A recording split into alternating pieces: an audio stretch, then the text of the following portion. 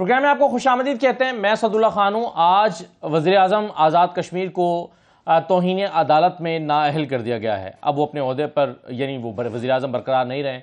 दूसरी तरफ़ पाकिस्तान में भी काबीना या वजी अजम जो हैं, उनके ऊपर तोहन अदालत की तलवार लटक रही है। और अगर तोहन अदालत की सज़ा उन्हें मिलती है तो यहाँ पर भी नाहली हो सकती है। इस पर बहुत सारी गुफ्तु हो रही हैं।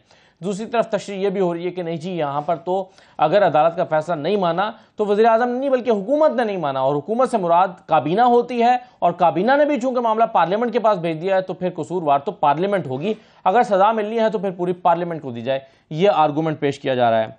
उधर इलेक्शन कमीशन ने आज चूँकि 11 तारीख थी 11 तारीख को रिपोर्ट पेश करनी थी तो अदालत के हुक्म को ओबे करते हुए इलेक्शन कमीशन ने सुप्रीम कोर्ट में रिपोर्ट जमा करा दी है कि जनाब, ना पैसे मिले हैं, न सिक्योरिटी मिली है। अब बताइए क्या करें? तो अब क्या यह मामला सुप्रीम कोर्ट में टेकअप होगा? दूसरी तरफ़ एक कानून साजी हुई है। उस कानून साजी को भी सुप्रीम कोर्ट में भी और इस्लामाबाद हाईकोर्ट में भी चैलेंज कर दिया गया और कहा गया कि जो कानून साजी हुई है, ये अदालत के ने रूल्स बनाने होते हैं। अदालत के मामला में जो मुदाखलत है, वो नहीं की जा सकती।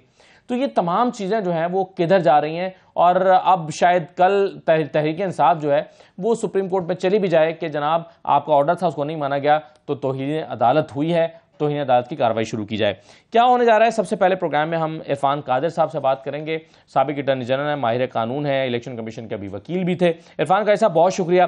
सर सबसे पहले तो ये बताइए कि अब दस तारीख गुजर गई आज ग्यारह थी रिपोर्ट पेश हो गई और इलेक्शन कमीशन ने रिपोर्ट पेश करके कहा जनाब हमें ना फंड्स मिले हैं ना हमें सिक्योरिटी मिली है यानी सुप्रीम कोर्ट का ऑर्डर नहीं माना। अब अगर तोहन अदालत की कार्रवाई इनिशिएट होती है तो ये किसके खिलाफ होगी? ये इन तीन जजेस के खिलाफ होगी चीफ जस्टिस के खिलाफ होगी और दो और दो दूसरे जजेस के खिलाफ होगी जिन्होंने चार जजेस के ऑर्डर को वायलेट किया। अच्छा लेकिन सर ये आपकी तशरी तो ज़ाहिर है यही है कि ये चार तीन का फैसला था। लेकिन नहीं सॉरी ये मत क्या करें मेरी तशरी है। जी। ये जज सुप्रीम कोर्ट के जजेस ने खुद कहा है कि ये चार तीन से फैसला है। मैं तो नहीं कह रहा बिल्कुल सर सुप्रीम कोर्ट ही के जजेस कह रहे हैं जी दुरुस्त दुरुस्त फरमाया सर आपने। कोई बात आपके प्रोग्राम में कभी अपने पास से नहीं करता। नहीं करते। या आइन से करता हूँ या अदालत के फैसलों से करता हूँ या जो स्टैच्यूट है उनसे करता हूँ बात। सही है। सर अब मसला ये ना कि आप कह रहे हैं कि सुप्रीम कोर्ट के जजेस ने कहा कि ये चार तीन का फैसला है। मैं भी कह रहा हूँ कि सुप्रीम कोर्ट के सुप्रीम कोर्ट के जजेस ने कहा है अब सुन तो लीजिए मैं भी ये कह रहा हूँ कि सुप्रीम कोर्ट के जजेस ही कह रहे हैं कि तीन दो का फैसला है। तो अगेन ये ये तो एक बहस है। नहीं लेकिन मैं इलेक्शन के जजेस कह रहे हैं चार तीन का फैसला अच्छा चलिए। तीन दो को नहीं मानते वो। चलिए अब सुप्रीम अगर चलिए मैं थोड़ी देर के लिए इलेक्शन कमीशन पे आ जाऊँ। तो इलेक्शन कमीशन में एक वकील इरफान कादिर कहते हैं चार तीन का फैसला है। और इलेक्शन कमीशन के दूसरे वकील सजील सवाती कहते हैं कि तीन दो का फैसला है तभी तो हमने इसको इनिशिएट किया था। बहस तो यहाँ पर भी मौजूद है इलेक्शन कमीशन नहीं लेकिन इरफान कादिर और स्वाति को छोड़ दें। सुप्रीम कोर्ट में ज़्यादा जज क्या कह रहे हैं? चार जज कह रहे हैं कि ये चार तीन का है जबकि तीन कह रहे हैं तीन दो का है। तो चार की बात मानेंगे कि तीन की मानेंगे? इरफान कादर को छोड़ दें स्वाति को भी छोड़ दें। सिंपल। ठीक है? तो आप ये कह रहे हैं कि तोहिन अदालत की कार्रवाई नहीं हो सकती? हो सकती है। तीन जजेस के खिलाफ हो सकती है। अच्छा चलिए ठीक है। अच्छा सर मुझे एक फिर आप चलें। आपके आर्गूमेंट से मेरा जहन में अगला सवाल फिर ये आता है कि इसहाक डार साहब ने कल जो फाइनेंस बिल पेश किया है कि जनाब सुप्रीम कोर्ट का ने ऑर्डर किया था कि इक्कीस अरब रुपए जारी किए जाएँ तो हम पार्लियामेंट की मंजूरी चाहते हैं कि इक्कीस अरब रुपए जारी किए जाएँ। तो फिर तो ये हुकूमत ने भी मान नहीं लिया सुप्रीम कोर्ट का फैसला तभी तो वो इक्कीस अरब की मंजूरी के लिए गए हुकूमत बहुत ज़्यादा एक्स्ट्रा कॉशस है कि अगर किसी वक्त वो इस चीज़ से घबराए हुए हैं कि किसी वक्त अगर सारा सुप्रीम कोर्ट किसी एक व्यू पे अगर एग्री कर गया तो वो बहुत उन्होंने दूर की एक्स्ट्रा कॉशन एक्सरसाइज किया जिसकी कि मैं समझता हूँ ज़रूरत नहीं। सर अब ये देखिए ना, ये इरफान कारी साहब अभी फाइनेंस बिल आ गया। ये दो सूरतें होंगी, या तो ये पास हो जाएगा और इक्कीस अरब जारी हो जाएँगे। तो अगर ये इक्कीस अरब जारी हो जाएँगे तो चले पंद्रह दिन ताखिर सही, चौदह मई को ना सही, अट्ठाईस मई को इलेक्शन फिर हो जाएँगे। और दूसरी सूरत में अगर ये मंजूर नहीं होता तो इरफान साहब, ये पाकिस्तान की हिस्ट्री की पहली मिसाल होगी कि फाइनेंस बिल जो है, वो कोई हुकूमत पास नहीं करवा पा रही होगी। देखें, इक्कीस अरब जारी नहीं होंगे, ये मैं आपको बता रहा हूँ। इसलिए बता रहा हूँ कि पार्लिमान जो है, करारदाद भी वो मंजूर कर चुकी है, इस बेंच के खिलाफ। तो वो इक्कीस अरब क्यों देंगे? आप कह रहे हैं कि फाइनेंस बिल जो है वो मंजूर नहीं होगा। इसलिए इस वक्त सुप्रीम कोर्ट के तीन जज सुप्रीम कोर्ट से भी लड़ रहे हैं। वो पार्लियामेंट से भी लड़ाई ले सकते हैं वो मुतमल हो सकते हैं कि वो सुप्रीम कोर्ट से भी लड़ें और पार्लियामान से भी लड़ें। ये तीन जजेस जो हैं इस वक्त ये बहुत ज़्यादा माइनॉरिटी व्यू है ये और इनकी बात नहीं मानी जाएगी। इरफान का साहब फिर तो एक और कॉम्प्लिकेशन नहीं पैदा हो जाएगी क्योंकि हुकूमत यहाँ पर चाह रही है कि सुप्रीम कोर्ट ने अगर गवर्नमेंट को ऑर्डर किया है कि सरफ जारी करने का तो वो दरखास्त कर रही है अपने मेंबर्स से पार्लियामेंट के मेंबर से, कि वो इक्कीस अरब रुपए जारी करने की मंजूरी दें। लेकिन अगर वो अपनी हुकूमत की मंशा के खिलाफ जाते हुए इसकी मंजूरी नहीं देते जैसे कि आप एंटिसिपेट कर रहे हैं, फिर तो ये डिफेक्शन कॉज करेगा, क्योंकि फाइनेंस बिल में तो अपनी हुकूमत की पॉलिसी को मानना पड़ता है, सर। देखिए, हुकूमत ने कहा है कि ये जो तीन जजेज है ना, पहले ये अपने चार जजेस से मुकाबला करें और फिर ये पार्लिमान से मुकाबला करें। हम ना तीनों में ना तेरह में हमें मत बीच में ड्रैग करें। हुकूमत की ये पॉलिसी है जो कि गलत नहीं है। तो फिर फाइनेंस बिल तो आना ही नहीं चाहिए था खान साहब अगर आपके आर्गूमेंट को माने तो। भाई आना चाहिए या नहीं है जब पार्लिमान में चला जाएगा तो parliament is the last word parliament के खिलाफ तो कोई नहीं ना किसी की मजाल नहीं है कि वो कोई जज या सुप्रीम कोर्ट कुछ कर सके। अच्छा चलिए ठीक है। अब मुझे सर ये बताएँ कि आप ये कह रहे हैं कि ये जो पार्लियामेंट ने जो फैसला देना है वो अल्टीमेट होगा। लेकिन दूसरी तरफ़ बिल्कुल। अच्छा आप दूसरी पार्लियामेंट जो है सुन लेना पार्लियामान जो है ना parliament is the mother of all laws. वो कॉन्स्टिट्यूशन बनाती है वो कॉन्स्टिट्यूशन में तरामीम करती है वो कानून साजी करती है और सुप्रीम कोर्ट ताबे है उस कानून के और वो जो कॉन्स्टिट्यूशन की अमेंडमेंट जो पार्लियामान करती है हम्म। सुप्रीम कोर्ट पार्लिमान के भी नहीं बल्कि पार्लिमान के कानून के भी ताबे है। सही है। सर अब ये अगर ऐसा है तो ये अब ये ये वाली जो डिबेट है कि सुप्रीम कोर्ट ने अपने रूल्स खुद बनाने होते हैं। ये कानून साजी जो हुई है ये नहीं हो सकती थी। ये इस्लामाबाद हाई कोर्ट में भी चैलेंज होगी ये सुप्रीम कोर्ट में भी चैलेंज ख्याल आपने प्लीज़ जरा कॉन्स्टिट्यूशन है आपके पास इस वक्त? इस वक्त नहीं है आप फरमाइए। खोले आर्टिकल 191 खोलें। जी 191 में लिखा हाँ खोलें। 191 हम्म। में साफ़ लिखा हुआ है हम्म। कि सुप्रीम कोर्ट जो रूल्स बनाएगी वो ताबे होंगे उन कवानीन के जो पार्लियामान बनाएगी। ठीक है। बस खत्म।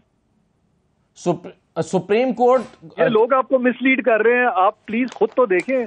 असदुल्ला साहब आप इतना माशाल्लाह आप बारीक बीनी से चीज़ों को समझते हैं। आप वो आर्टिकल 191 निकाल लें ना कंफ्यूजन ही कोई नहीं है। सही है। नहीं वो वन नाइनटी वन बिल्कुल मौजूद है इरफान साहब। लेकिन 191 जो है वो सुप्रीम कोर्ट को भी तो अख्तियार देता है ना कि वो वो रूल्स बनाएगा। नहीं वो वो रूल्स ताबे हैं उस कानून के जो पार्लियामान बनाएगी उस कानून के नीचे आ जाते हैं रूल सही और इसके लिए कोई आईनी तरमीम नहीं चाहिए आपके ख्याल में? नहीं नहीं बिल्कुल नहीं चाहिए। लोग मिसलीड कर रहे हैं ये। सारा मिसलीड किया जा रहा है।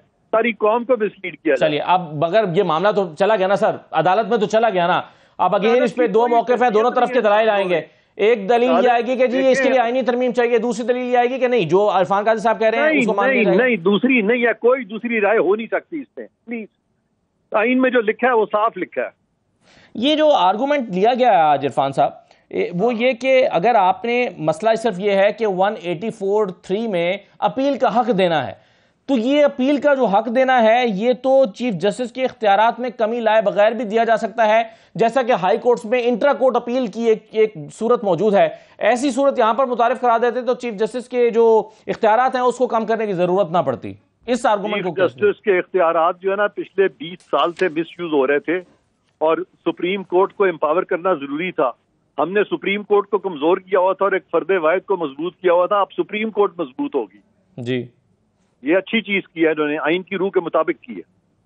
अच्छा। अच्छा इरफान खान साहब अभी जब मैं तोहिन अदालत की बात कर रहा था तो आपने फरमाया कि ये जजेस के खिलाफ लगेगी। लेकिन ये हाँ। ये कोई जाएगा तोहिन अदालत के लिए? आप जाएँगे? हुकूमत जाएगी कि जनाब ये चार जजेस की तीन जजेस ने तोहिन कर दी है? तो इसको अब सुना जाए केस को। हमें क्या ज़रूरत है जाने की? फिर कैसे अगर वो समझेंगे तो वो लगा देंगे इनको।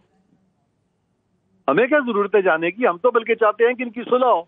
मैंने तो चीफ जस्टिस को कहा था जब मैं बतौर वकील इलेक्शन कमीशन पेश हुआ था मैंने कहा था आप अपना जो इंटरनल कॉन्फ्लिक्ट है इसको खत्म करें। सारी कौम को आपने मखमसे में डाला हुआ है। तो उस सिलसिले में मीटिंग्स हो रही हैं वैसे? इरफान साहब आपको पता चला होगा काजी फैसल साहब मीटिंग हो रही है? और चीफ जस्टिस साहब की पैंतालीस मिनट की मीटिंग हुई है आज भी मीटिंग हुई है। पहले इनको चाहिए था पहले वो कॉन्फ्लिक्ट रिजोल्व करते। उसके बाद ये केस को टेकअप करते। ये तो एक किस्म का सुप्रीम कोर्ट जो है एज एन अदारा उसकी तस्दीक जो है की जा रही है सुप्रीम कोर्ट के जजेस के ज़रिए जो कि अच्छी बात नहीं है। ये कॉन्फ्लिक्ट अगर सुप्रीम कोर्ट में इस तरह आ जाए से आ जाए तो ये कैसे रिजोल्व होता है इरफान साहब? ये सजाद अली शाह के टाइम पे रिजोल्व हो गया था। जजेस जब ज़्यादा एक तरफ़ हो गए थे तो चीफ जस्टिस को उस वक्त उन्होंने हटा दिया था निकाल दिया था। सही है। सर, अगर एक पंद्रह रुकनी कोर्ट बनती है, बेंच बनता है, उसमें सात जजेज एक फैसला दे देते हैं और नौ जजेज एक फैसला दे देते हैं या आठ जजेज और आठ, नौ, आठ का फैसला आ जाता है, फ़र्ज़ कीजिए, या या तेरह में से जो है या अभी नौ का बना था तो पाँच दिन का फैसला सर, जो जो जजेज इख्तलाफ करते हैं डायसेंट करते हैं उसको हम डायसेंटिंग नोट कहते हैं ना उसको हम ये तो नहीं कहते कि कॉन्फ्लिक्ट है सुप्रीम कोर्ट के अंदर। इसको आप यूँ क्यों नहीं देखते कि ये जो एक डिफरेंस ऑफ़ ओपिनियन है ये डायसेंट हो सकता है। कई दफ़ा जो माइनॉरिटी व्यू होता है ना कई दफ़ा। जी। वो ज़्यादा सही होता है मेजोरिटी से भी ऐसे भी होता है कई दफ़ा। भी पिछली दफ़ा लेकिन इम्प्लीमेंट मेजोरिटी का फैसला होता है सर। नहीं होता ना फिर मेजोरिटी का मैं, मैंने कई फैसले इनके रोक दिए थे इम्प्लीमेंटेशन जब अटर्नी जनरल था तो मैंने इनकी इम्प्लीमेंटेशन भी कुछ फैसलों की रोकी थी। जहाँ पे के वो आइन से तो, आइन के खिलाफ इन्होंने फैसले दे दिए थे। हमने नहीं वो बातें इनकी मानी थी उस वक्त। अच्छा अब सर मुझे ये बताइए अगर एक और फैसला आ जाता है सुप्रीम कोर्ट से और किसी पर तोहिन अदालत लग जाती है तो आप ज़ाहिर है सुप्रीम कोर्ट के जजेस को रोक तो नहीं सकते ये फैसला देने से फिर क्या होगा? उसको भी नहीं मानेंगे? देखें उन्होंने क्या किया था? उन्होंने आसिफ अली जरदारी साहब के लिए कहा था ना खत लिखें खत लिखें। तो जब खत लिखा गया था तो क्या हुआ था? उसमें यह लिखा गया था कि आसिफ अली जरदारी साहब के खिलाफ तो केस चल ही नहीं सकते फौजदारी ना मुल्क के अंदर ना मुल्क के बाहर। तो फिर खत लिखने से क्या हुआ था? कोई आसिफ जरदारी साहब पे कोई उनके खिलाफ कोई प्रोसीडिंग्स चल पड़ी थी या उनकी कोई कन्विक्शन हो गई थी? वो एक एक्सरसाइज इन फ्यूटिलिटी थी। इरफान साहब हुआ था या नहीं हुआ था लेकिन लेकिन प्राइम मिनिस्टर को तो ऑर्डर मानना पड़ा था ना सुप्रीम कोर्ट का घर जाना पड़ा उन्होंने नहीं माना था। गिलानी साहब ने भी नहीं माना था। उन्होंने बल्कि क्योंकि सुप्रीम कोर्ट का ये कंटेम्प्ट का और दूसरा फैसला नहीं माना था तो उन्होंने इस्तीफा दिया था। ये आपको पता नहीं है। अच्छा चलिए मगर वो इस्तीफा इसीलिए दिया था ना सर कि उनके खिलाफ एक फैसला आ गया था कोर्ट का। नहीं अगर फैसले की वजह से अगर वो ना अहल होते तो फिर इस्तीफा देने की ज़रूरत ही नहीं थी। आपको समझ नहीं आ नहीं समझ आ रही है सर। आप उन्होंने इस्तीफा दे दिया मगर वो इस्तीफा देने की नौबत क्यों आई? क्योंकि उन्हें पता था सुप्रीम कोर्ट का फैसला आ गया आई कि सुप्रीम कोर्ट बहुत बदनाम हो रही थी। उन्होंने कहा हमारा एक इदारा है हम क्यों इसको बदनाम होने दें? हम प्राइम मिनिस्टरशिप छोड़ देंगे लेकिन इसकी बदनामी हम नहीं कराएँगे। सुप्रीम कोर्ट के गलत फैसलों से उनकी बदनामी हो रही। सर आज एक आज एक प्राइम मिनिस्टर जो है वो तोहिन अदालत में फारिग हुए हैं आज़ाद कश्मीर के। और चौधरी फवाद हुसैन साहब ने जो ट्वीट किया उसकी आखिरी लाइन में वो लिखते हैं कि वजी पाकिस्तान इस फैसले से सबक हासिल करेंगे उम्मीद करते हैं कि प्राइम मिनिस्टर ऑफ़ पाकिस्तान इस फैसले से सबक हासिल अगर एक प्राइम मिनिस्टर जा सकता है तो दूसरा प्राइम मिनिस्टर भी जा सकता है। नहीं इस दफ़ा इंशाल्लाह प्राइम मिनिस्टर बिल्कुल नहीं जाएँगे। ना ही उन पर कोई तोहिन लग सकती है। और इलेक्शन नहीं इलेक्शन नहीं होंगे? जी इलेक्शन तब होंगे जब सारे मुल्क में होंगे। आइन की जो मंशा है उसके मुताबिक होंगे। इरफान खान साहब आखिरी बात ये बता दीजिए कि अगर एक और बात आपको बताऊँ सुन ले। जी। इसमें सारा तो ये इनका इस्तलाल तो ये था ना कि जी इलेक्शन जो है वो नब्बे दिन में होने चाहिए इसकी हमने टेका वो तो वो तो गुजर गया नब्बे दिन। नहीं तो नब्बे दिन तो पहली दफ़ा जब सदर ने पहली डेट दी थी तो वो भी नब्बे दिन के बाद बाहर थी। गवर्नर ने दी वो भी नब्बे दिन के बाहर थी।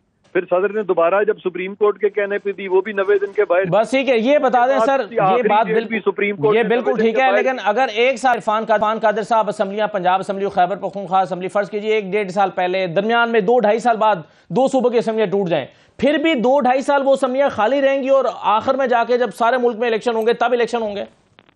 ये आपकी बात बिल्कुल दुरुस्त है। उस वक्त अगर दो साल पहले टूटी होती ना वो फैक्ट्स डिफरेंट थे वहाँ पे बिल्कुल इलेक्शन उस वक्त होने चाहिए थे।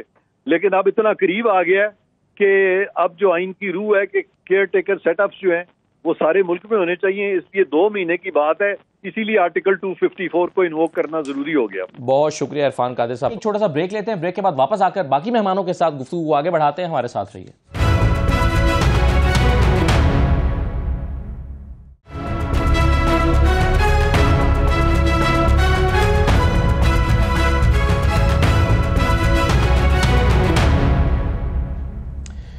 दोबारा आपको खुश आमदी कहते हैं। राना सनावला साहब समझते हैं कि उन्होंने प्राइम मिनिस्टर को तोहन अदालत से बचा लिया है क्योंकि ये मामला डाला गया काबीना के ऊपर। काबीना ने भेज दिया पार्लियामेंट में तो अगर अब कोई किसी के खिलाफ एक्शन होना है तो वो पार्लियामेंट है। हमारे साथ इफ्तार दुरानी साहब मौजूद है, नज़ीर लगारी साहब मौजूद हैं, सरवर बारी साहब मौजूद हैं। दुरानी साहब, मेरा पहला सवाल आपके लिए है। क्या आप क्या समझते हैं कि ये क्या होगा? किसको सजा मिलेगी? हुकूमत के पास आर्टिकल 81 सी जो है, जो चार्ज अकाउंट है, यानी कि आप पैसे दे सकते हैं। और आर्टिकल 84 जो है, वो उसमें ये लिखा हुआ है कि आप जितने भी पैसे खर्चते हैं by the end of the term financial year आप उसको अप्रूव करवाते हैं। जब आप हीलो हुजत से काम रहे काम कर रहे होते हैं तो chief executive of the country जो कि प्राइम मिनिस्टर है, मेरा ख्याल है, उनका ये बनता है कि उनके ऊपर जो है वो करना चाहिए कंटेम्प्ट लगनी चाहिए। अगर आप देखिए, सदर पाकिस्तान है ना कुछ चंद रोज कबल, पिछले हफ़्ते में एक खत भी लिखा था और उनको याद दहानी कराई कि जी आपने जो आईनी फरीजा है, उसको जो है डिस्चार्ज करने के लिए आप अपनी एफर्ट जारी रखेंगे। अच्छा ये गिमिक्री है। बेसिकली राना साहब जो है एक्चुअली पूरा पीडीएम ओवर स्मार्ट प्ले करने की कोशिश कर रहा है। अभी मैं इरफान कादिर साहब को भी सुन रहा था कि आइन में कहीं भी इकट्ठा इलेक्शन नहीं लिखा हुआ। नवे रोज के इंतबात हैं, जैसे ही असम्बलियाँ तहलील हो जाती हैं। अच्छा अभी ये लफाजी में है और मेरा ख्याल है आइन से इनराफ करना चाह रहे हैं और जो इनको सूट कर रहा है, क्योंकि ये इंतबात में जाना नहीं चाह रहे हैं और इनका हिम्मत हो उसका जवाब दे चुके हैं इंतबात से तो ये रास्ता ढूंढ रहे हैं। तो मुझे लगता है कि जो राना साहब की ख्वाहिश है वो पूरी हो जाएगी। बारी बारी जो है, पहले वजी अजम आ जाएँगे और जो जो फिर ऊपर आते रहेंगे तो वो ये अपना मेरा ख्याल है कि जो सुप्रीम कोर्ट है वो फैसला सुनाती रहेगी। तो उसमें मुझे कोई शक नहीं है कि सबसे ज़्यादा रिस्पॉन्सिबिलिटी वजी अजम की है जो कि chief executive of the country है। और तमाम इदारे बिल बिल, बिल जो है शमूल फाइनेंस मिनिस्ट्री के डिफेंस मिनिस्ट्री के सारे उनके मातहत इदारे हैं। और सेक्रेटरीज जो है अब एक फैसले का हवाला दिया जाता है ना कि एक मुस्तफ़ा इम्पैक्ट केस था। मुस्तफ़ा इम्पैक्ट केस गवर्नमेंट की डेफिनेशन करता है कि गवर्नमेंट से मुराद काबीना है। तो अगर तोहिन अदालत हुई है तो फिर गवर्नमेंट ने की है, क्योंकि गवर्नमेंट को डायरेक्शन मिली थी सुप्रीम कोर्ट के फैसले में, और गवर्नमेंट से मुराद तो काबीना है। तो काबीना कम अज कम अगर सजा मिलेगी तो फिर काबीना को मिलेगी, पूरी काबीना को। ऐसा नहीं है। देखिए जी चीफ एग्जेक्टिव है, जो सवाबदीदी इख्तियार जो है ना, वो प्राइम मिनिस्टर के पास भी हैं, और एग्जेक्टिव अथॉरिटी भी प्राइम मिनिस्टर के पास है। Secretary to the government of Pakistan is government of Pakistan principal accounting officer secretary finance हैं। ये एक फ़ोन कॉल की मार है, बीस अरब रुपया देना इन्होंने, देखे ना, इस वक्त दो सौ छत्तीस अरब रुपया रोका हुआ है। पंजाब का कोई एक सौ पचहत्तर अरब रुपया रोका हुआ है। खैबर पख्तूनख्वा का पचहत्तर अरब रुपया इन्होंने सस्ता आटा में दिया हुआ है। इसी तरह कोई नबे अरब रुपया इन्होंने एम एन एस को दिया हुआ है। ये तो मेरा नहीं ख्याल कितना को बड़ा इशू है। ये जब सुप्रीम कोर्ट के सामने जाएँगे, सेक्रेटरी फाइनेंस भी आ जाएगा सामने। वो भी बता देगा कि जी, मुझे कौन कह सकता है पैसे किसकी तरफ़ से देख सकता हूँ, जो आपकी जो फेडरल अकाउंट है, वो सेक्रेटरी फाइनेंस के कहने पे चलता है और सुप्रीम कोर्ट उसको डायरेक्ट कर देगी जब आएगा। और जिस जिस के ऊपर कंटेम्प्ट लगनी है, वो भी लग जाएगी, जिस जिसने इनको डिफाई किया है कोर्ट के ऊपर। इतना सिंपल नहीं होगा। मेरा ख्याल है कि आइन से इनराफ जो है, वो पॉसिबल नहीं है इस वक्त, क्योंकि बड़ा डेट्रमेंटल है रियासत के लिए सेल्फ क्योंकि आज इनको आप रास्ता दे देंगे, नवे दिन से तो नब्बे से एक सौ नब्बे दिन और जो है नौ साल तो में कोई नहीं लगता। नब्बे दिन से एक्सीड तो कर चुका है। जो प्रेसिडेंट साहब ने तारीख दी थी वो भी नब्बे दिन से ऊपर की तारीख थी तो नब्बे दिन से तो निकल ही गए ना। फिर काम फिर आपने 254 को एक्टिव कर दिया। नब्बे दिन से तो आप चले गए आगे। जी बिल्कुल बुझा फरमा रहे हैं। उन्होंने बिल्कुल ठीक किया लेकिन आपने जो है ना बेस्ट अवेलेबल सिनेरियो में जो है उन्होंने उससे करीब करीब डेट दी हुई है। वो बात ठीक है। लेकिन उसको एक एक अनलिमिटेड पीरियड के लिए जिस तरह से अभी लोग आपकी जो केयर टेकर गवर्नमेंट है पंजाब में और खैबर पख्तूनख्वा में वो 22 अप्रैल और 28 अप्रैल को वो तो गासिब हुकूमतें हो जाएँगी। उसको किस तहत आप आगे लेके चलेंगे? आ, क्या ये चीफ सेक्रेटरी और आईजी पंजाब के थ्रू मतहत रहेंगे? ये बड़ा सीरियस कॉन्सिक्वेंस इसका मज़ाक नहीं है जिस तरह पीडीएम खेल रही है। ठीक है। चलें नज, मुझे नज़ीर गारी साहब ये फरमाइए कि जब का एक फाइनेंस बिल चला गया पार्लियामेंट के अंदर इसहाक डार साहब ने कल पेश किया उन्होंने कहा कि पार्लियामेंट इक्कीस अरब रुपए की मंजूरी दे दे ताकि इस इक्कीस अरब रुपए को हमने जो है वो इलेक्शन कमीशन को जारी कर सकें। तो इससे दो बातें तो तस्लीम हो गई। एक तो ये कि वो हुकूमत वो सुप्रीम कोर्ट के ऑर्डर को ऑर्डर मानते हैं यानी वो उसको मानते हैं कि ये एक ऑर्डर है जिस पर अमल होना चाहिए।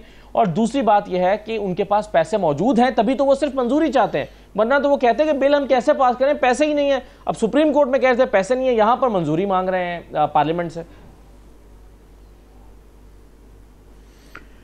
देखें क्योंकि सूरत हाल बहुत ज़्यादा गुंजलक हो चुकी है और आइन की ताबीर तशरी का इदारा तो ज़ाहिर है सुप्रीम कोर्ट है।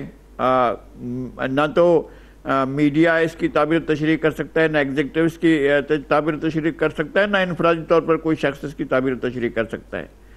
लेकिन अगर आइन की ताबीर तशरी जो उसका बेसिक कंटेंट है उसके बिल्कुल बरक्स हो रही हो तो फिर उसके बारे में क्या कहा जाएगा? क्या उसको कहा जाएगा कि ये आइन एब्रोगेट हुआ है या सबवर्ट हुआ है या एबाइंस में चला गया है? क्या क्या सूरत हाल समझी जाएगी?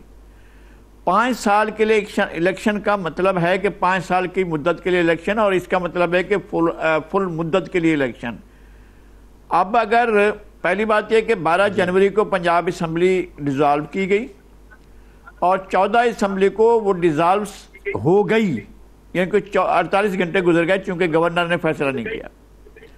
अब इसके बाद 14 दिन के बाद जो है नवे दिन जा, जाकर बनते हैं 14 मार्च को। ये जो 14 जनवरी से मामला चला और ये चला गया पूरा फरवरी गुजर गया फरवरी के बाद मार्च गुजर गया। और इस दौरान में कोई नहीं गया है सिर्फ़ बहस हो रही है कि जनाब इलेक्शन की डेट आनी चाहिए। गवर्नर कह रहे हैं कि मैंने नहीं तोड़ी है असम्बली मैं नहीं दूँगा। इलेक्शन कमीशन कह रहा है कि मेरी ज़िम्मेदारी नहीं है। चलें, अगर सो मोटो लेना था। पहली बात यह है कि सो मोटो लेना नहीं था, इसके ऊपर अलग वो मामला है। अगर सो मोटो ही लेना था तो उसके चार दिन के बाद, एक हफ़्ते के बाद ले लिया जाता तो हम समझते कि जनाब, ये कितना ज़बरदस्त किस्म का फैसला है।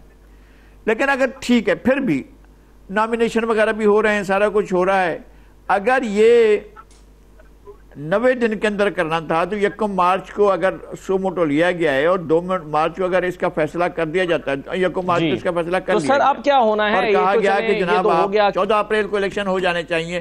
अगर चौदह अप्रैल को नहीं हुए हैं चौदह अप्रैल को तो आइन की रूह जो है वो वहाँ से खत्म हो गई। फिर आप जब मर्ज़ी कराएँ। नहीं अब ये मर्ज़ी नहीं कह रहा हूँ मैं। मैं कह रहा हूँ कि वो जो आइन का आयन की मंशा थी वो खत्म हो गई है। आइन की मंशा नहीं पूरी हुई है। फिर आप इसके ऊपर जो भी वो तो खत्म होगी ना। अब ये है कि उसको मिनिमम बेयर मिनिमम टाइम में कराना चाहिए या फिर दो साल के बाद मैं कह रहा हूँ कोई मसला नहीं आइन तो टूट गया। नहीं मैं ये कह रहा हूँ कि आप एक महीना चौदह दिन से सुप्रीम कोर्ट के और सुप्रीम कोर्ट को जब ये फैसले में लिख रहे हैं कि नवे दिन में इलेक्शन होने तो फिर चौदह अप्रैल को ही इलेक्शन होने चाहिए थे। चौदह अप्रैल का इलेक्शन होना चाहिए था। जब ये रास्ता दिया गया और तीस अप्रैल आ गई तो इसके ऊपर जो है वो 106 दिन हो गए और 106 दिन पर सब राज़ी हैं। पीटीआई राज़ी है इमरान खान राज़ी हैं सर वो चौदह अप्रैल इसलिए सारे राज़ी हैं। हुकूमत ने या इलेक्शन कमीशन ने वक्त पे वक्त पे चीज़ें नहीं की तारीख अनाउंस नहीं हो सकी मुख्त तशरीहत में लगे रहे। फिर इलेक्शन शेड्यूल मुकम्मल आगे चली गई। बचते नहीं थे मार्च को फैसला आ गया है। ये फैसला आ गया है। नहीं यको मार्च को फैसला आ गया है। वो पंद्रह दिन, एक एक महीना और चौदह दिन बाकी हैं। और एक महीने, चौदह दिन में आप फिजिबल बनाया कहें कि जी वट कम में आप इलेक्शन करवाएँ और चौदह अप्रैल को करवाएँ। ये होता अगर फैसला तो और और डेट डेट उनको यही कहते भाई आप डेट दें और चौदह अप्रैल की डेट दें, ये ऑर्डर कर देते।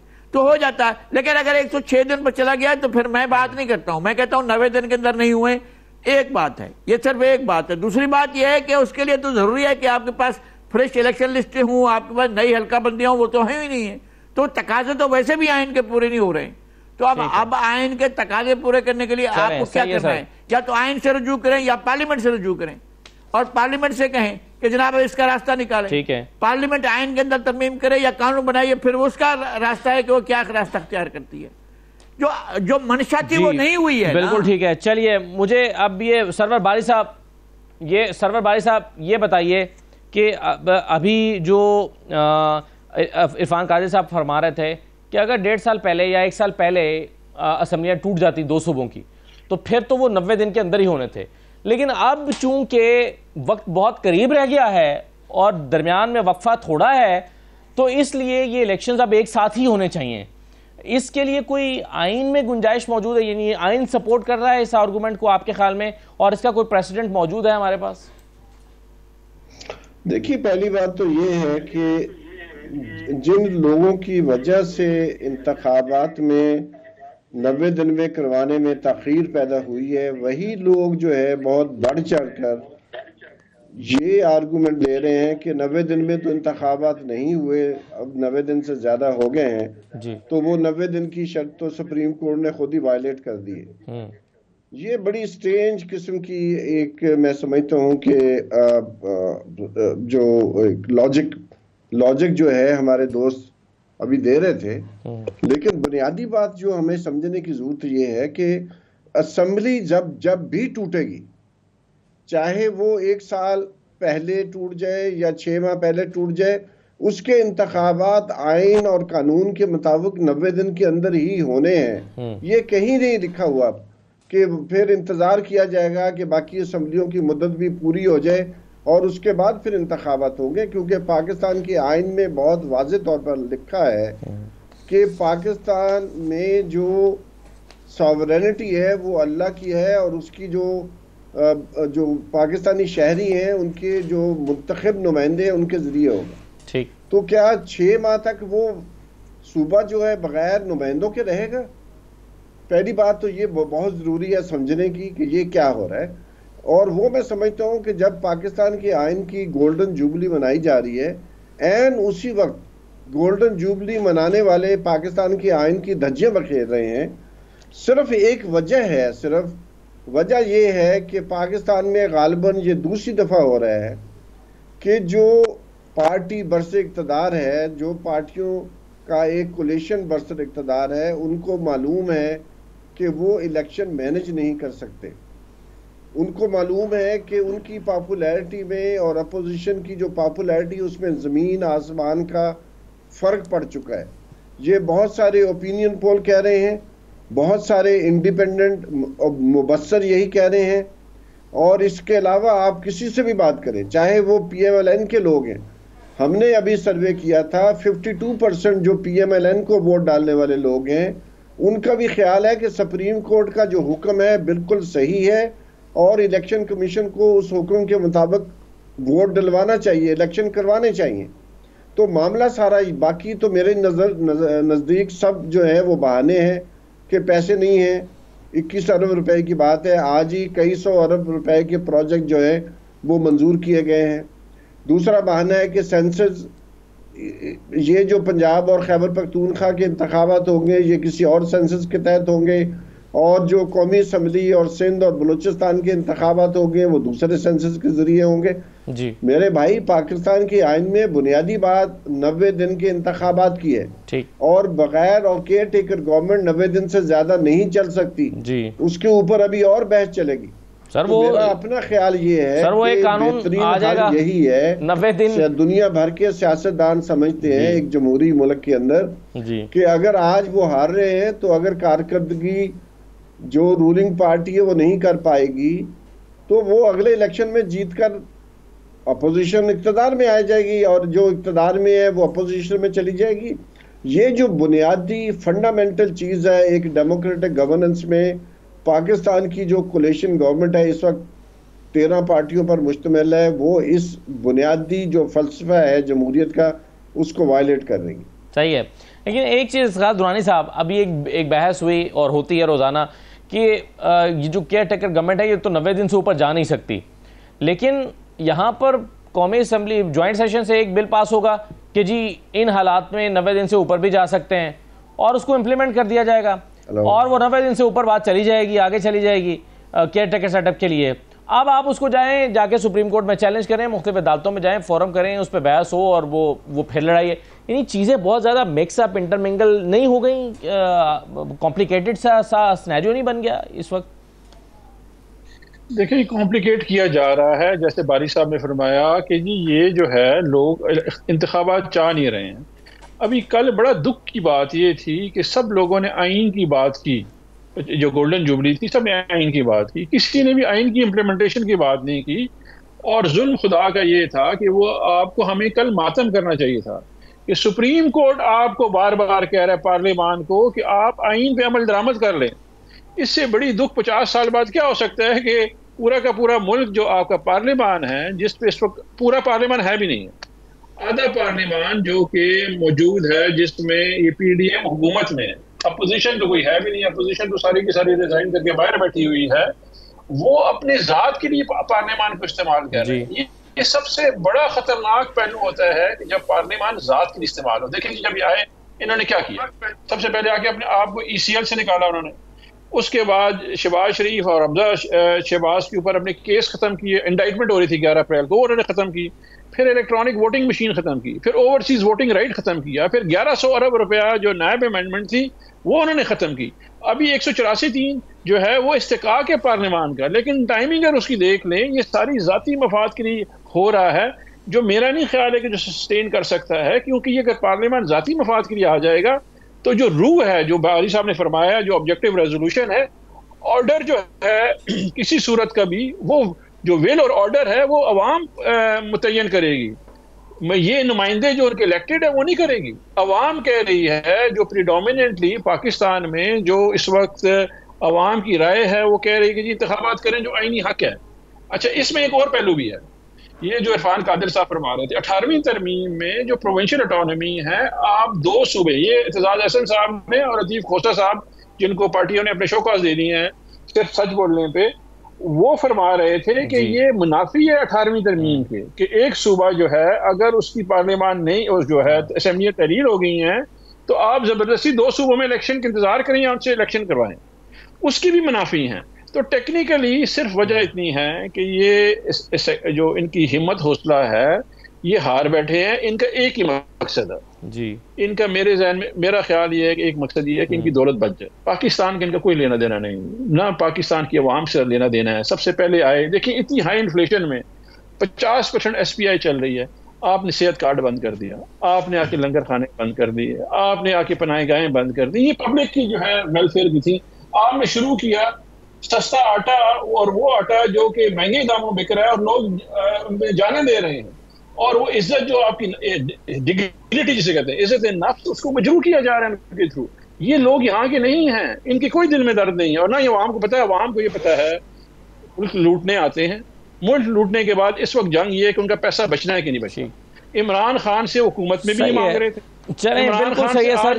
मगर इफ्तार साहब मसला यह है कि अब ये चीज़ें आगे बढ़ेंगी कैसे? ये बहस इस मुल्क में जो हो रही है हम तो इसी बहस से बाहर नहीं आ रहे कि तीन चार का फैसला है, चार तीन का फैसला है, ये तो अब आज भी ये बहस चल रही है। यानी आप कोई भी मौजूद इस पर बहस शुरू हो जाती है।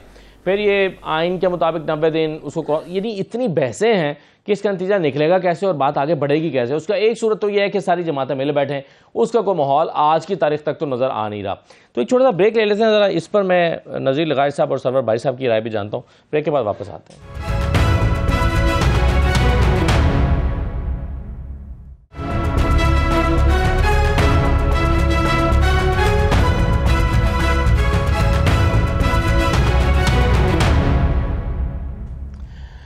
दोबारा आपको खुश आमदीद कहते हैं, ऐसा लगता है कि सारी चीज़ें सुप्रीम कोर्ट की तरफ़ जा रही हैं। सारी जो कानून साजी हो रही है, वो चैलेंज हो रही है, जो इलेक्शन कमीशन ने रिपोर्ट जमा करानी थी, वो कराई है, फिर तोहिन अदालत का मामला है। ये सारी चीज़ें इलेक्शन कमीशन ने आज रिपोर्ट जमा करा दी है प्रैक्टिस एंड प्रोसीजर बिल जो है वो सुप्रीम कोर्ट में वो चैलेंज हो गया है। ये आने वाले दिनों में जितना रोल सुप्रीम कोर्ट का नज़ीर लगारी साहब बढ़ रहा है, उतना ही कॉन्ट्रोवर्शियल बनाने की कोशिशें भी हो रही हैं, ऐसा लगता है। और जो जज जज साहिबान हैं सुप्रीम कोर्ट के, उनके ख़िलाफ़ रेफरेंसेस भी फ़ाइल हो रहे हैं। तो चीज़ें तो हर आने वाले दिन में इतनी कॉम्प्लिकेटेड होती जा रही हैं कि इसके असरात, ऐसा लगता है कि पाकिस्तान के ऊपर मनफी असरात मुरतब होंगे या हो रहे हैं। ये कैसे चीज़ें, ये डोर सुलझेगी कैसे जो उलझ गई है? यकीनन बिल्कुल आप ठीक कह रहे हैं। बिल्कुल ऐसा है। इसलिए कि इफ्तार चौधरी के बाद से अब तक सुप्रीम कोर्ट में एक नया ट्रेंड यह आया है कि उसने जो इतने बड़े लाखों मुकदमात रखे हैं, उनको छोड़कर इन इन मुकदमात पर या इन पिटिशन्स पर अपनी तवज्जो मरकूज की है कि जिनसे रोज़ाना की बुनियाद पर मामला चल रहे हों। मेरे ख्याल में इनको भी निपटाया जा सकता था। हम नहीं कह सकते हैं कि वो अपना कैसा कंडक्ट करें, किस तरीके से चलाएँ लेकिन आइन में ये नहीं लिखा हुआ है कि एक बंदे का मूड होता है उसके दिल में आती है और उसके दिल में कोई रीज़न हो ना हो कोई ख्वाहिश हो ना हो कोई पता हो ना हो कोई उसका कानूनी रास्ता हो ना हो कोई आयन उसको कहे ना कहे आयन तो नहीं कहा है ना? कि आप मुंतब होने के बाद आप मंतखब हों और ऐवान में जाए। ऐवान में जाने के बाद आपके पास 150 सीटें हैं आप रिज़ाइन कर दें कि जी मैं मुझे मूड नहीं है मेरा। मैं नहीं कर, मैं नहीं मानता। तो फिर इसका क्या हल है आयन के पास या सुप्रीम कोर्ट के पास? एक बंदा वज़ीर अजम है, उसके खिलाफ तहरीक अजम अतमाद आती है। पहले उसको रोकने के लिए तमाम गैर आइनी जराए अख्तियार किए जाते हैं। फिर भी यही सुप्रीम कोर्ट थी ना जा आई थी और इसके खिलाफ ये लाठी उठा खड़े होते हैं, भाई नहीं, आप नहीं काम कर सकते, ये तो पार्लियामान का काम है, आप क्यों कर रहे हैं? रात को क्यों लगा दिया अदालत? क्यों उठकर आ गए? सब सब कह रहे थे कि जनाब क्यों आ गए? अब जो है चले, अब वो हो गया है एक लीगल कॉन्स्टिट्यूशनल प्रोसेस के ज़रिए एक वज़ीर अजम को हटा दिया गया। पहली दफ़ा पाकिस्तान की तारीख में पहली बार। और वो वज़ीर अजम क्या करता है कि जब वजारत उजम से हटता है तो अगले दिन कहता है कि हमने रिजाइन कर दिया। पार्टी छोड़ दी। सारी पार्टी वहीं हाउस में बैठे बैठे कहते हैं, जी, हमने रिजाइन कर दिया। फिर रिजाइन एक्सेप्ट करो। उनको कर लेना चाहिए था और बाई इलेक्शन करा देना चाहिए थे, लेकिन फिर भी, आइन हमें बताया तो सही ना कि अगर ऐसा हो जाए, किसी का मूड खराब हो जाए, किसी की तबीयत खराब हो जाए किसी का जहन खराब हो जाए। और वो ऐसा करने लगे कि ठीक है, मुंतखब हो गया, आओ। हम तो नहीं बैठेंगे, हम लानत भेजते हैं इस पार्लियामेंट को, जिसमें हम हम अकलियत में चले गए। तो क्या किया जाए? और अगर किसी का दिल ऐसा हो जाए कि जी, अपनी हुकूमतें मौजूद हैं और मुझे हुकूमतें नहीं चलानी है, बस मैं रिजाइन करना है। एतमाद का वोट हासिल करने के फ़ौरन बाद आप असम्बली तोड़ दें अगर ऐसी सूरत हाल तो फिर तो आइन से पूछना चाहिए। जनाब मोहतरम आइन साहब क्या आप कह रहे हैं रोकता है एतमाद का वोट हासिल करने के बाद असम्बलियाँ तोड़ने से? आइन रोकता है क्या? नहीं मैं कहता हूँ नहीं नहीं नहीं नहीं मैं मैंने रोकने की बात नहीं की है। लेकिन आइन के पास ये होना चाहिए और आइंदा आइन के बनाने वाले या आइन को अमेंड करने वाले ये ज़रूर पेश नज़र रखेंगे कि लाजक तो देना बताए तो सही मैं क्यों तोड़ रहा हूँ? जंग हो गई है मुल्क पर हमला हो गया है। आपके सूबे पर कहत आ गया है टडी दिल आ गया है आप किसी बुहरान में चले गए हैं किसी बहुत बड़े खतरे में चले गए हैं आप सूबे के अंदर किसी ने किसी दुश्मन ने हमला कर दिया है कि आपको फ़ौरन असम्बली तोड़नी पड़ गई है और क्या मसला क्या है? इसलिए कि आप बुरान पैदा करना चाहते हैं। पहले कौन तो बुरान पैदा तो करने रास्ता दे रहा है। और बुरान पैदा करने तो नहीं होना चाहिए। आइंदा कोई लॉजिक दिए बगैर असेंबली ना तोड़ी जा सके। ऐसी अमेंडमेंट होनी चाहिए कानून में कि कोई लॉजिक हो तो यानी चार रीजन बता मालूम होना चाहिए कि तो शहजादे का शहजादे का लेकिन ये तो कल की बात है ना सर आज तो शहजादे का मूड क्या है? शहजादा क्या चाह रहा है? शहजादे के दिल में सही है? आइन में कमज़ोरी की तरफ़ निशानदेही आपने कर दी। लेकिन अब ये जो ये जो आइन है आज तो ये नहीं रोक रहा ना सर किसी को अपना सवाबदीदी इख्तियार इस्तेमाल करने से। मसला तो ये है मैं ये अर्ज़ कर रहा हूँ कि वो तरीकेकार मौजूद था। जब फैसला हो रहा था उस वक्त भी डेढ़ महीना मौजूद था। आप नवे दिन के करते आयन को कहते ना हम आइन को आबरूमंद कर रहे हैं। हमारे पास मुद्दत कम है डेढ़ महीना है। यको मार्च से हम्म। लेकर चौदह अप्रैल तक ये पूरे का पूरा डेढ़ महीना है और इसके अंदर इलेक्शन करवाएँ वट कम में। तो आप कहते हैं कि ठीक है जी आपने आइन के आबरू रखी। है जब आप आइन को एक सौ छह दिन आगे कर रहे हैं तो अगले एक सौ छह महीने आगे कर दें हम क्या कर लेंगे? अच्छा अब इफ्तार दुरानी साहब एक मसला यह है कि तमाम जो दो, दोनों तरफ़ से, हुकूमत की तरफ़ से भी आवाज़ आती हैं। कल जरदारी साहब ने भी कहा, मिल बैठे डायलॉग करें और शहबाज शरीफ साहब हैं यहाँ से अथॉरिटी डायलॉग करने के लिए। आप भी चाहते हैं डायलॉग किया जाए? फवाद चौधरी साहब इसके कई दफ़ा इशारा दे चुके हैं। इसकी कोई अमली सूरत है? और अगर है तो वो क्या हो सकती है? देखिए असल इस वक्त जो है ना, ये रेटरिक की हद तक गुफ्तु कर रहे हैं, क्योंकि इनमें से कोई हकीकत पसंदाना तौर पे आगे बढ़ना नहीं चाह रहा इस काम से, क्योंकि ये दिन बाय कर रहे हैं। इन्होंने तेरह अगस्त तक लेके जाना है, जो आखिरी दिन असम्बली का। उसके लिए ये जो बयानबाजी है, वो कर लेते हैं। इसमें कहीं पे भी ना इनका जो है दिल कर रहा है और ना ये चाहते हैं कि इस तरह की गुफ्तु हो। देखें, आइन बिल्कुल क्लियर है। अगर आप नबे की दहाई देखें तो नबे की दहाई में हर दो साल वो हुकूमत चली गई। तो क्या उस वक्त शहजादा कौन था जो ये फैसला करता था? उस वक्त किसी शहजादे को किसी ने कहा? नहीं कहा। तो ये आइन इस्तेकाक दे रहा है नवे दिन का आइन में लचक नहीं है। जब आप लचक देना शुरू कर देंगे, ये बड़ा सीरियस मसला है और हमारे जो लोग हैं, वो उसको बड़ा हल्का ले रहे हैं। आप रियासत के जो एक आइन है मुतफिका तौर पर जो पचास साल पहले एग्रीमेंट हुआ है, उस एग्रीमेंट को चैलेंज कर रहे हैं। इसमें गुफ्तु क्या होनी है? कि हमने आइन के ऊपर अमल दरामद करनी है या नहीं करनी है? अगर ये गुफ्तु अगर जमहूरी कुत आपस में शुरू कर दें कि इस दफ़ा आइन को साइड पे कर देते हैं, अपनी मर्ज़ी से बात कर लेते हैं और अगली दफ़ा हम आइन को मान लेंगे।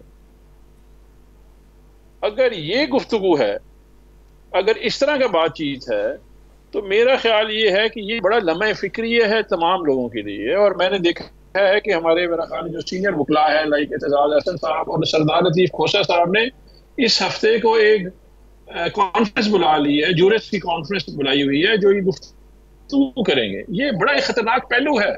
आप इसको हल्का ना लें। अगर आज ये आइन से इनराफ कर गए, चाहे जो मर्ज़ी अपने आप के जमहूरी हुकूमत है, मैं, देखें जमहूरी कुत जो भी होती है ना, सबसे पहली बात क्या होती है, वो जमहूर से जाते हैं वो डरती नहीं है, अवाम के पास जाते हुए। ये वाहि जमहूरी कुत हैं जो खौफजदा हैं, और हर मन तक निकाल के लेके आ रहे हैं, दुनिया की हर मन तक आइन में जो है, हर चीज़ बड़ी वाज तौर पर लिखी हुई है, और ये इस्तेकाक है आइन का, और ये इस्तबाई जो चीफ मिनिस्टर हैं, उनका इस्तेकाक है असम्बली डिजॉल्व करना। ये किसी कहने ना कहने से वो आइन से नहीं जाएगा। हाँ जब असेंबली उसको प्रोग्रेस में आगे जब आएगी और लिजिट असेंबली आ जाएगी और अगर वो ये समझते हैं कि जी ये बिल ये जो क्लॉज है ठीक नहीं आप उसको बेंड कर लेंगे। लेकिन इस वक्त आप जो खिलवाड़ कर रहे हैं ठीक है। वो खिलवाड़ देखें सुप्रीम कोर्ट पार्लियामान ये जो इलेक्शन कमीशन ये सब आइन के मातहत है। ये मेरे और आपकी तहफ़ है शहरी का तहफ़ आइन है। ये अशराफिया उसको जात के मफाद के लिए खेल रही है। बारी साहब, एक एक राना सनाउल्ला साहब बार बार आर्गूमेंट देते हैं। वो कहते हैं कि जी इलेक्शन कराएँगे। चारों सूबों में और विफाक में एक वक्त में कराएँगे। इमरान खान के कहने पर नहीं कराएँगे। असम्बलियाँ इनके कहने से टूटी, वजह इनके पास कोई थी नहीं लॉजिक कोई मौजूद नहीं था, मुल्क को इन्होंने बहरान का शिकार किया, इनके कहने पर हम नहीं कराएँगे। क्या इस तरह की कोई जिद एक आर्गूमेंट कोर्ट ऑफ़ लॉ में बन सकती है? देखिए ये तो मुमकिन ही नहीं है कि ये समझा जाए कि एक शख्स या एक जमात जो है पाकिस्तान की जो सुप्रीम कोर्ट है पाकिस्तान के अवाम जो 22 तेईस करोड़ के लगभग हैं उनको कहें कि हम चाहेंगे तो होगा हम चाहेंगे तो नहीं होगा ये किसी की जागीर नहीं है ये पाकिस्तान के अवाम का एक मुल्क है एक कौम है पाकिस्तान का एक आइन है उस हम्म। आइन में वो आइन जो है, एक समाजी माहदा है पाकिस्तान के शहरियों और पाकिस्तान की रियासत के दरमियान। और उसमें वो एक जमात है, वो एक कतरा है और बाकी बाईस हज़ार और लोगों की बिना पर ये मुल्क तश्कील होता है। तो इसलिए कोई भी शख्स, कोई भी सियासतदान, कोई भी चाहे वो सुप्रीम कोर्ट का जज हो या कोई भी हो, किसी को ये हक नहीं है कि मैं अपनी मनमानी जो है वो 22 करोड़ आवाम के ऊपर जो है लाजिम करूँगा। ये तो रवैया ही एक आमराना रवैया है। इसके अंदर फाशिज्म झलकता है और इसको सिविल सोसाइटी बहुत अदब एहतराम के साथ मुस्तरद करती है कि ये बिल्कुल जबान इस्तेमाल नहीं होनी चाहिए। काश के सुप्रीम कोर्ट जो है, जब ये इलेक्शन कमीशन ने उसको जो शेड्यूल दिए हुआ था, उसको किया था, उसी दिन उसको उसके ऊपर एक्शन लेते। और अभी तक शहबाज शरीफ के खिलाफ एक्शन हो, हो चुका होता। काबीना के खिलाफ अगर एक्शन हो चुका होता है जिस तरह इफ्तार चौधरी ने यूसुफ रजा गिलानी को तो निकाल दिया। जी। लेकिन अगर ये रवायत रहे कि जो भी लोग कानून आइन की खिलाफ वर्जी करेंगे खास तौर पर जो हुक्मरान अशराफिया है उसको अदलिया सजा देगी ताकि लोग ये ठीक हो जाए। पाकिस्तान कैसे ठीक होगा? पाकिस्तान ऐसे तो नहीं ठीक हो सकता। हमारे सामने बरतानिया की जमहूरियत की जो डेवलपमेंट है हमारे सामने है कि किस तरह वहाँ पर मैगना कार्टा साइन होता है कि बादशाह सलामत की जो मुश्किल जो एक मतलब ही was everything in in in UK तो वहाँ के जो बैरन थे उन्होंने बगावत की थी। इसी तरह बाद में जब आम लोगों के वोट की बात थी औरतों ने अपने वोट के हक के लिए जेलें भर दी थी।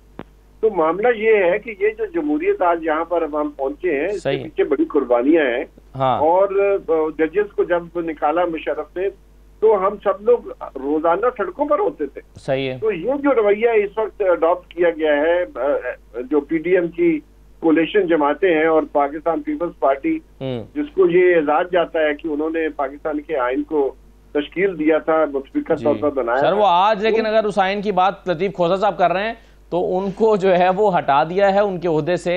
लॉयर्स फोरम जो था पीपल्स पार्टी का उनके लेकिन एतजाज आसन भी बात कर रहे हैं। पाकिस्तान की पीपल्स पार्टी के अंदर ऐसी सैकड़ों आवाज़ें हैं सही है। दबाएँगे? अभी बड़ी एक तो दिलचस्प बात इरफान कादर साहब ने की है।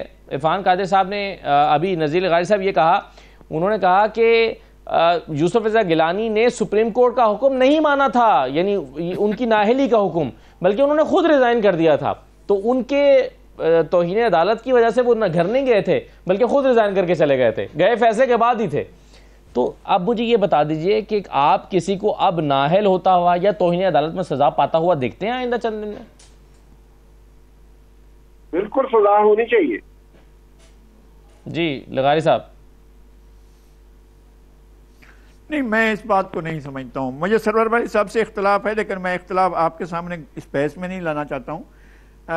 मुझे आ, समझ में नहीं आता है कि एक आदमी का अचानक मूड होता है वो 135 सीटों से इस्तीफा दे देता है। कि उसको समझ वो उसको पसंद नहीं आ रहा है सिस्टम नहीं पसंद आ रहा है या उसको अपोजिशन में बैठना पसंद नहीं आ रहा है। और वो कहता है मैं एक सौ पैंतीस सीटों से रिजाइन कर रहा हूँ। फिर कहता है मैं हुकूमत में हूँ दो हुकूमतों छोड़ रहा हूँ मैं रिजाइन कर रहा हूँ। तो फिर क्या मतलब? वो कहता है कि मैं पार्लियामेंट पर लानत भेजता हूँ। एक एक जलसे में उनके मुँह से ये ये भी निकले हैं। तो क्या मतलब है कि जिसको पार्लियामेंट से इतना इंटरेस्ट हो और पार्लियामेंट में सिर्फ़ इकतदार में रहने के लिए हो और अपोजिशन में न बैठने के लिए हो या इकतदार हो तो फिर ये तो हो गई हमारी तो तशरी तो नहीं एक है सुप्रीम कोर्ट का फैसला। चाहते हैं अब सर एक है सुप्रीम कोर्ट का फैसला। सारे आर्गूमेंट सुनने के बाद। नहीं मैं अब, मैं जजमेंट अब आपकी तशरी पर जाएँ या किसी की भी जाती तशरी पर जाएँ या सुप्रीम कोर्ट के फैसले पर जाएँ? मैं ज़ाती जजमेंटल नहीं होता हूँ मैं नहीं उस पर जाना चाहता हूँ। और ये सुप्रीम कोर्ट का अपना मामला है सुप्रीम कोर्ट इस मामले में क्या करती है? बहरान खुद पैदा करती है या बहरान से मुल्क कुछ निकालती है? ये सुप्रीम कोर्ट का अपना मामला है। एक बहरान तो वैसे ही पैदा हो चुका है मुसलसल चल रहा है। एक बहरान सुप्रीम कोर्ट पैदा करना चाहते हो तो कर ले लेकिन यह कि ये इस पर मेरा कमेंट क्या करेगा? मैं कहता हूँ कि ठीक है सुप्रीम कोर्ट अपनी मर्ज़ी है जिसको चाहे जो कर चाहे कर ले। अगर उसको आइन और कानून रास्ता देता है तो ज़रूर कर। जी। आइन ने ये रास्ता तो नहीं दिया सही है। कि आप दुरानी साहब आखिरी कमेंट। ये, ये बता दीजिए कि क्या आपके ख्याल में तोहिन अदालत यहाँ पर लगनी चाहिए? किसी को नाहल होकर घर जाना चाहिए? या क्योंकि ऐसा करने से शायद मामला और पेचीदा हो जाएँगे। हालात मुल्क के इस वक्त पाकिस्तान के हालात शायद सपोर्ट नहीं कर रहे। इसको आप कैसे देखते हैं? देखिए ये मुल्क जो है कब्जे में है इस अशरफिया के। इस कब, इसका कब्जा छुड़ाया इस वक्त सूरत में जाएगा जब इनको आप सजाएँ दे दें ये आज तक ज़िंदगी में इनको सजाएँ हुई नहीं हैं इस तरह जिस तरह होनी चाहिए। ये किसी ना किसी तरीके से अपने आप को बचा रहे हैं ये आइन से इनराफ कर रहे हैं और सारों के सारों को होना चाहिए। ऐसा नहीं एक बंदे के ऊपर। आइन मुकदम है इस रियासत को बचाने के लिए। ये मेरा आपका या और पूरे पाकिस्तान का केस है। तो आप समझते हैं कि सबको सजा होनी चाहिए। बिल्कुल ठीक बहुत शुक्रिया डॉक्टर इफ्तार दुरानी साहब नज़ीर लगारी साहब सरवर भाई साहब बहुत शुक्रिया प्रोग्राम में शिरकत करने के लिए। इजाज़त दीजिए अल्लाह हाफिज़।